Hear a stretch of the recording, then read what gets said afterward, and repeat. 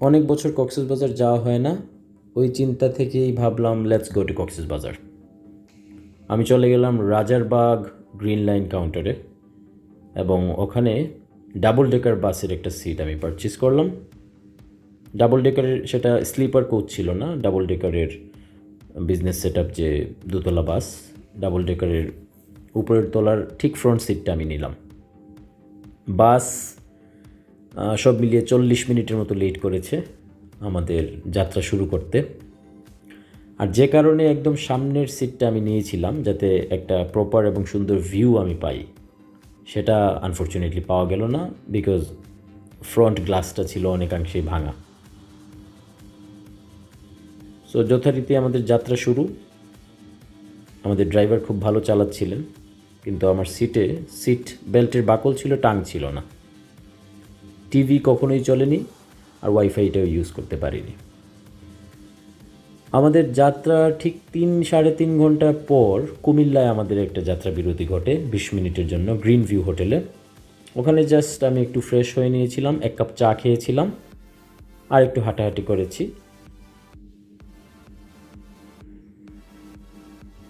তারপর আবার ভোরবেলায় ফোর সিজনস নামে আরেকটা রেস্টুরেন্টে আমরা ড্রপ করি। ওখানে হচ্ছে জাস্ট ফ্রেশ হওয়ার জন্য দশ মিনিটের একটা যাত্রা বিরতি দেওয়া হয় চিটং কক্সবাজার হাইওয়েতে এই রেস্টুরেন্টটা অবস্থিত। আই লাইক দিট রেস্টুরেন্ট এটা খুবই সুন্দর রেস্টুরেন্ট তারপর আবারও আমাদের পথ চলা শুরু। ঠিক সাত ঘণ্টা পর আমি পৌঁছে যাই আমার ডেস্টিনেশন কক্সেস বাজারে একটা অ্যামেজিং সকালবেলা ছিল। নেমে একটা রেস্টুরেন্টে আমি ব্রেকফাস্ট করি, তারপরই চলে যাই বিচে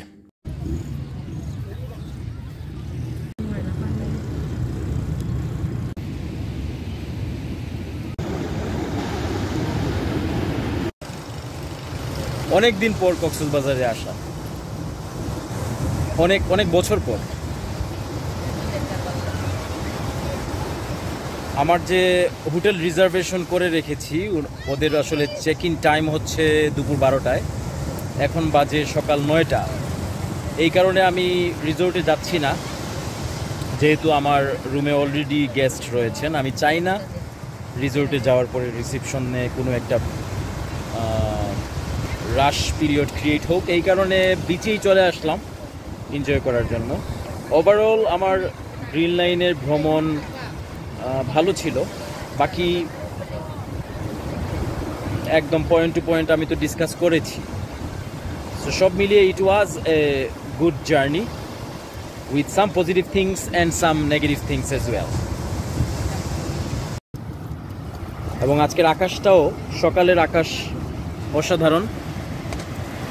আকাশের সাথে সমুদ্র, গর্জন, বালির কম্বিনেশন সব কিছু মিলিয়ে this is a very good experience and a lovely weather and a lovely morning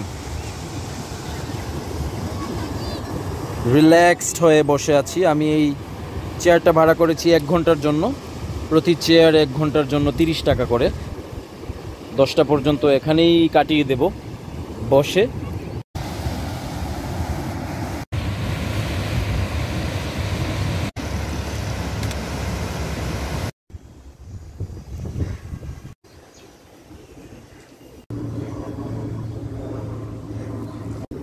এটা হচ্ছে টু স্টোরিড একটা বিল্ডিং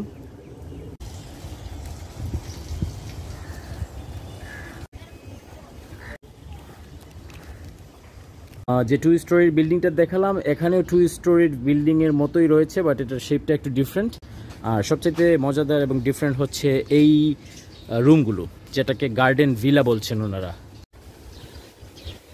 এবং ওনাদের প্রত্যেকটা রুমই হচ্ছে এয়ার কন্ডিশন এই দিক দিয়ে যদি যাই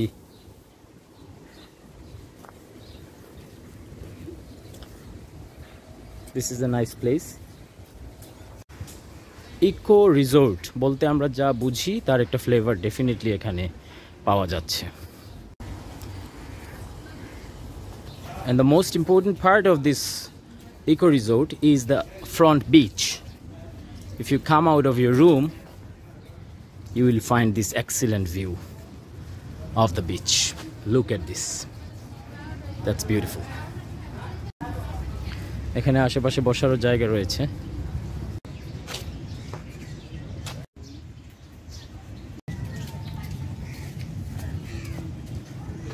দুপুর বারোটায় check in time I can wait for this so overall রুমটা স্পেশিয়াস এবং comfortable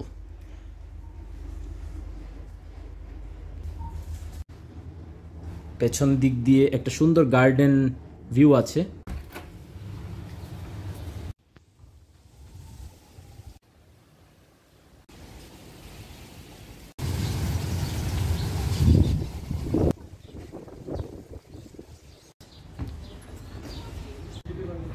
So, this is the view of their restaurant. মুক্ত খোলা বাতাস প্রাকৃতিক একটা পরিবেশ রাখা হয়েছে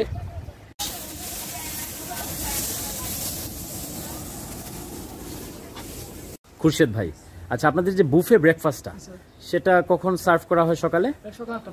সকাল আটটা থেকে দশটা পর্যন্ত।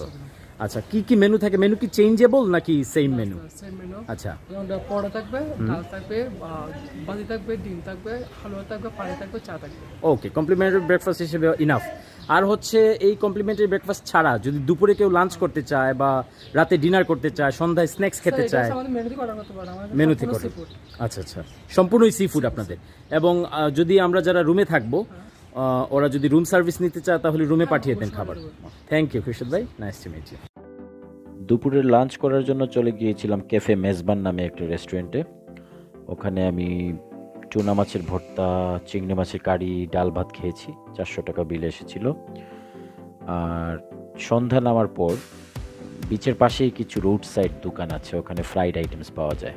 কাঁকড়া ফ্রাই চিংড়ি ফ্রাই এগুলো আসলে ব্যাড এক্সপিরিয়েন্স হয়েছে আমার। পরপর দুইটা দোকানে আমি খেয়েছি, কিন্তু খারাপ এক্সপিরিয়েন্স আমি আমি জানি না ব্যাড একটা স্মেল করছিল, আমার একদম সহ্য হচ্ছিল না, আমি খেতে পারিনি। আর সন্ধ্যায় একটু হাঁটাহাঁটি করার পরে আরেকটা রেস্টুরেন্টে আমি যাই স্ন্যাক্স খাওয়ার জন্য। সেটা হচ্ছে একদম বিচের পাশেই সি ল্যাম্প বিচ ক্যাফে ওটাতে খাবার দাবার বেশ ভালো ছিল, আমি এনজয় করেছি আমার ফুড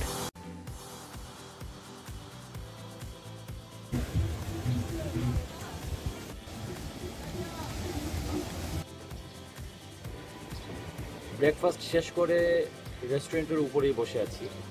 ছয় নাম্বার সতর্ক সংকেত চলার কারণেও পানিতেও নামতে দেওয়া হচ্ছে না কাউকে।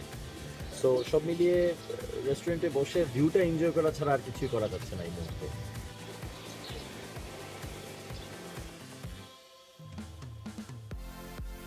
বিকেল তিনটা হয়ে গেল, কিন্তু আবহাওয়ার কোনো পরিবর্তন কিন্তু সন্ধ্যার পর যে আবহাওয়া আমি পেয়েছি রিসোর্টের লাইটিং পরিবেশ সব কিছু মিলিয়ে, একটা amazing experience There is a lovely morning. Already এগারোটা বাজে। চেক আউট টাইম বের হয়ে যাচ্ছি। কক্সবাজার সিটিটা একটু ঘুরে দেখছি। তারপর হিমছড়িতে যাব।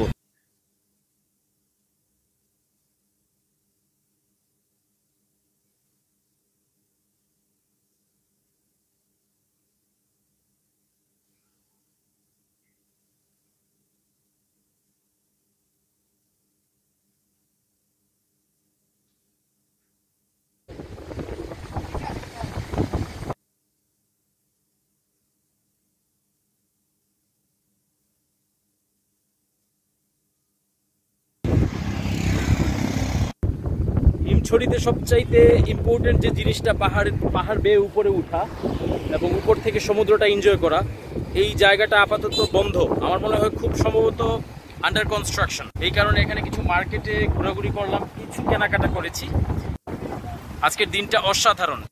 এবং বিচের পাশেই হিমছড়ি পয়েন্টের পাশে একটা রেস্টুরেন্ট আছে, সেটা হচ্ছে স্টোন ফরেস্ট রেস্টুরেন্ট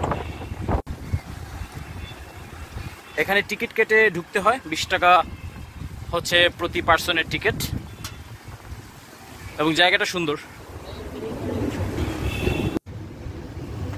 এইদিকে স্টোন ফরেস্ট হল রুম আছে। এটা ওনাদের service point. Very nice place সমুদ্রের পাড়ে উন্মুক্ত আবহাওয়ায় লাঞ্চ করা।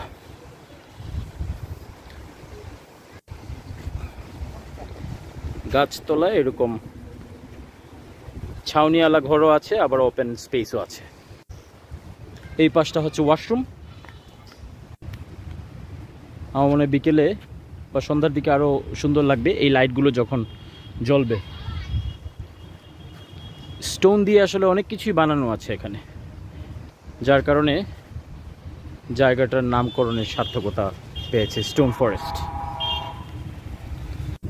লাঞ্চ করি, তারপরে ওই প্লেসটা এক্সপ্লোর করব। আমার রাইস চলে এসেছে। এটা হচ্ছে ছুরি শুটকি ভর্তা। এটা হচ্ছে আলু ভর্তা। লইটা fish fry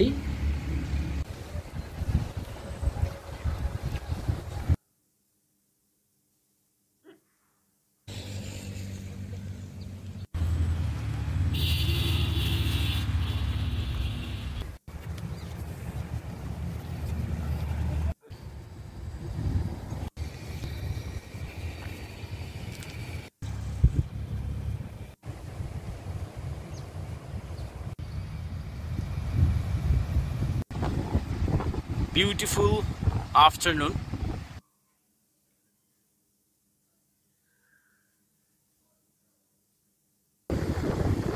Goodbye, Cox's Bazaar.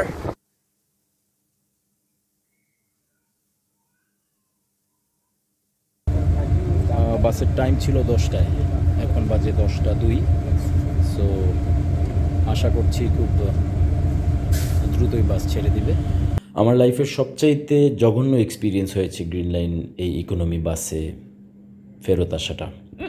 আমাদের যে ড্রাইভার ছিলেন ওনার একটা মিস্টেকের কারণে আমাদের জার্নি সময় লেগেছে চোদ্দ ঘণ্টা, যেখানে ছয় সাত ঘণ্টার ভেতরে ঢাকায় পৌঁছার কথা ছিল। ড্রাইভার সাহেব মিস্টেক করে অন্য একটা ভুল রুটে গাড়ি ঢুকিয়ে দেন এবং আমাদেরকে চিটাগং হয়ে কুমিল্লা না ঢুকে আমরা চিটাগং হয়ে ব্রাহ্মণবাড়িয়া, ভৈরব, নারায়ণগঞ্জ হয়ে ঢাকায় আসি। So it was a bad ending of my journey but overall my tour was fine